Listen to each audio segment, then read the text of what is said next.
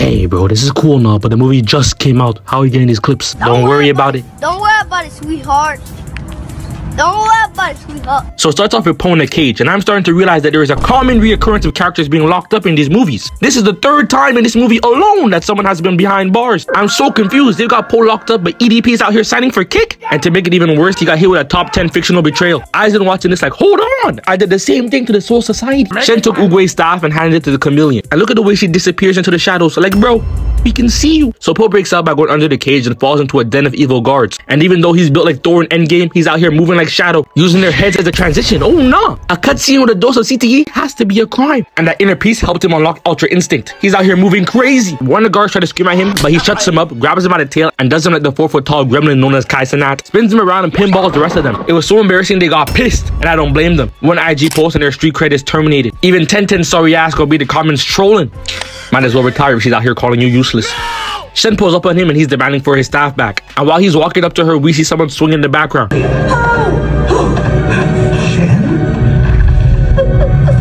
Oh, nah. I'm sitting here like, what? Oh, the deception. The betrayal. man. You deceived me. He's out here getting done just like me when I was watching Akame ga Kill. Got his staff took. Turns out Zhen was against him the whole time. And now bro isn't even talking to the right person. This shit crazy. No wonder Shifu was telling him to hang up the boots. I would too. This amount of deception has to be illegal. Po gets pushed off the bridge and I ain't really scared for him. He's got a whole cushion on the front side of his body that was soft in the fall. But instead he grabs onto the branch and gets attacked by Cuffham. Oh my gosh, that's the ugliest thing in the world. His dad saw that and told the nigga to get off. Tap dance on this man's head and told bro to go back to where you came from, off this planet. E.T. wants his brother back. Anyways, he gets put into an unskippable cutscene where he has to listen to his parents. You know when you be trying to tell your parents a funny story and they turn it into a life lesson? Yeah, that's what this shit felt like. Put me right to sleep.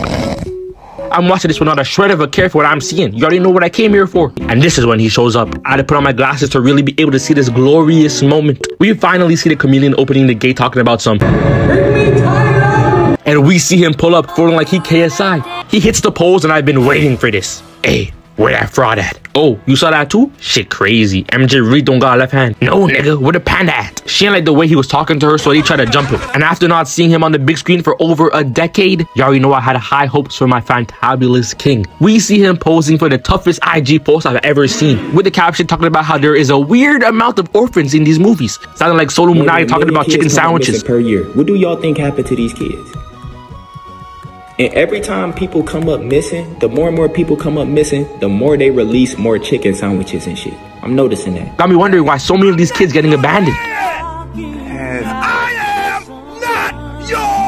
But he starts to cook, grabs his spear and pushes one back to then hit that no-look kick to punt the other one away. Someone got the bright idea of running up to him like Sasuke just to get slashed back to where he came from. He had to do a backflip celebration to then wipe the floor with these niggas. He's looking down like, nah, I really like that. Grabs these two by the tail and throws the trash ass away and kicks this nigga onto his back. That let me try. At entrance, Bro's a certified dumbass. Tai Lung proceeds to go into his bag and has this man spazzing, looking like he just got tased. The chameleon saw this and she was not impressed. She just saw a McDonald's warrior in a panda suit full 20 guards. Even for a sorcerer like her, that shit not normal, bruh. More of the guards try to jump him and he starts running across their heads. And wait, how many spins is that? One, two, three, four. He lands and you can tell he's feeling like Braun. This is his comeback arc. Someone else gets up and Tai Lung tries to take off their head just for them to shapeshift into the chameleon. And bro, this shit is not fair. She's out here going from Kevin Hart to Kai Cenat. It's not much of a difference, but that still ain't right. She grabs a hold of him and takes his kung fu and uses the cheat code to turn into him and put him out of commission. And once again, they've got him locked up in a cell. They had him trained up like the Nine Tails, and now he's sitting in another cage. I know, bro, is sick to his stomach out here getting done dirty. And hold up. Let me cook. They couldn't have gave bro more screen time. This fight was like 30 seconds. You're telling me that I went to this movie just for my goal to get folded faster than this? Megumi, Tai Lung, MCU Hulk. I swear anytime I think these characters are about to cook, the writers say, nah, fuck that, and violate them.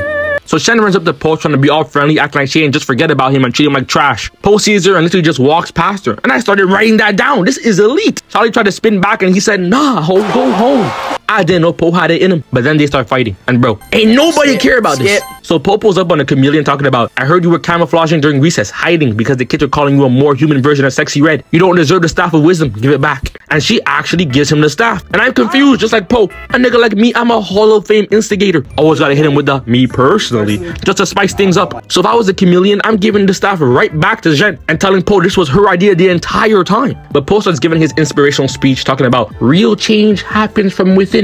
Oh, brother, this guy stinks. And I'm like, damn. Oogway couldn't have left the nigga with a book of quotes. He's been struggling to say some shit this whole movie. He was dead ass saying, when life gives you lemons, make pear juice. Like, bro, what does that even mean? I'm pretty sure he doesn't even eat fruits. He lives off of dumplings. He sound like Playboy Carti just saying random shit on the beat.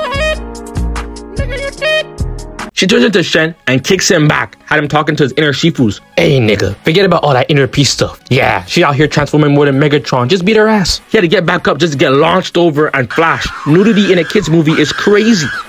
He gets knocked in the face and they got Kai charging at him just to get weaved. But she ain't want to be on fraud watch. It gives him a two-piece combo to the face. He's closing his eyes, hoping we gonna jump through the screen to save him. Nah, nigga, you're on your own. Kai shows us his vert and tries to end Po. And I'm really getting tired of this shit. She transforms into an elephant and starts swinging him around. He got up and hit the slide cancel while holding onto the trunk and got snapped back. You can see his spine making that elite C shape. How long do you think it would take Floyd Mayweather to figure out which letter this is? We see that the chameleon turned into a boar and they really start going hit for hit, but she not letting him think. She changes it into a wolf and Hey, yo, what the fuck? gets kicked off and you can see the face of realization of what she just done. I know she smelled that butt ass. Butt ass.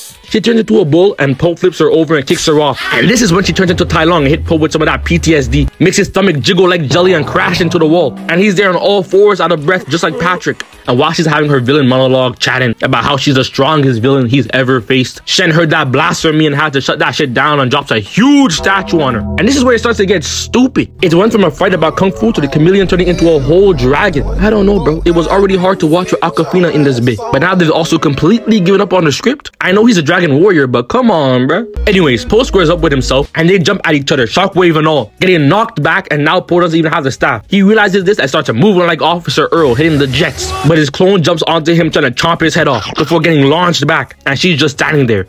Menacingly, standing there like Captain America in Infinity War. Oh no. She even jumps up looking like Tobey Maguire in that one pic. Nigga, it's not that serious. She was even out there trying to tap dance on this man's head. Po got sick of that shit and they started boxing. Even got the cameraman working overtime, hitting that Michael Jackson lean. Doing all this just to end up with back pain at the age of 25 is some heinous activity. Po manages to kick her in the air, but she wraps her tongue around him and starts to play paddleball. Got this man in an unblockable combo. I starts swinging him around, dragging him across the wall. She then goes to her bag of infinite moves to pick out the fireball jutsu and sets the cage on fire. Picks it up and booms the cage towards Po. And you can tell the nigga has had enough of this. This Sukuna ass villain. I wouldn't be surprised if her next move is about to be plot armor or some shit. She's out here picking up the rubble, setting it on fire, and hurling it at Po. And he ends up getting trapped in the middle ball. Zhen sees this and says, Come on, Po, get out of there. As if the nigga hasn't tried that already. You think he's just in there for fun? Hey, whose mans is this? But she takes the staff and does some magic nonsense to defeat the chameleon. Po gets out of the trap and finishes off the chameleon for good. And couldn't he have used that magic stuff since the beginning? Bro must have been holding that staff for decoration or something. But right when he's sending everyone home, we see that Tai Lung went through his Vegeta character development arc. This is a whole different nigga out here complimenting Po.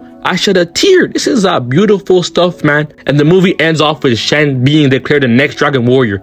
I don't know if I agree with that. I'm kind of on Shifu's side right now because I don't get it. We sure Oogway can't come back and pick someone else? And we see the Furious Five for like five seconds. They got Awkwafina but couldn't spare some change to give Jackie Chan one line as Monkey? See my star shine like a diamond. Can you move a son of diamond? A million SC.